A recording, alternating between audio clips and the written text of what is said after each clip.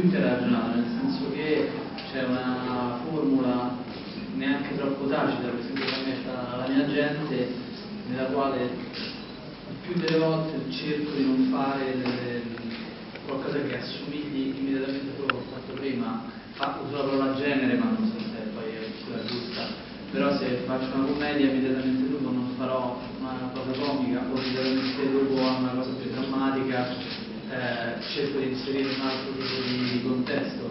Eh, appunto subito dopo Song Napoli ho girato 1992 a proposito di serie eh, di un certo tipo, no? che è una serie di Sky su Mani Pulite. Eh, per me è chiaramente poi un sogno, non è che sempre uno riesce a, però la regola è abbastanza ferrea il fatto è abbastanza chiaro, quindi sì, per me è che studiata. Ecco. Poi che chiaramente non, non, si presenta un progetto che vale la pena cavalcare, quello è un altro discorso, ma in linea di massima è quello l'idea.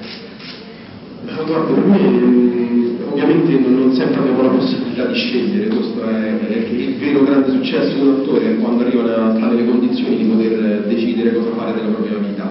Eh, non è, non, questa cosa quando la raggiungi non è detto che vale per sempre, a volte cioè, eh, io per farlo ho dovuto scrivere e a, far, a, fare la regia, nel senso che quello che cerco di fare con una prevalenza di commedie, eh, però quello che cerco di fare a questo punto, visto che ho la possibilità di farlo, è di scrivermi dei personaggi diversi, eh, per esempio adesso dopo questi tre protagonisti eh, di quest'anno, in questi tre film, nel mio prossimo regista non farò il protagonista assoluto, reciterò il ruolo, ma non tornerò a fare come ho fatto in Buongiorno Papà, eh, lascerò il protagonista un altro. Quindi attraverso questo, variare le cose che faccio.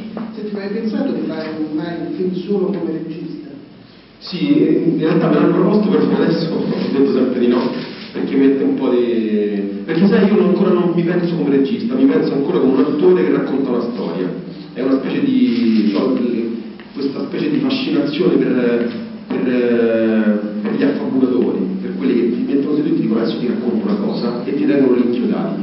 di raccontare questa cosa con film piace un sacco, per questo scelgo sempre storie mai autobiografiche, ma sempre molto lontane dalla mia vita privata. E, mm, continuo a pensarmi come regista in quest'ottica.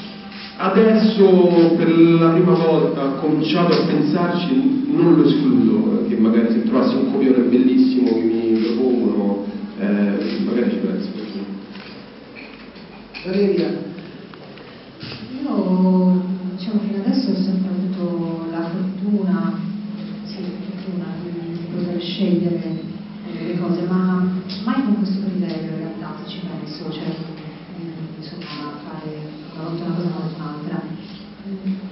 Forse penso a, a, una cosa che mi disse mio esempio di citazione tanti anni fa, di cercare tutte le volte che si interpreta un personaggio, veramente fare proprio il gioco delle differenze tra noi stessi e il personaggio, per cercare di togliere quelle cose di noi che non vanno bene per il personaggio.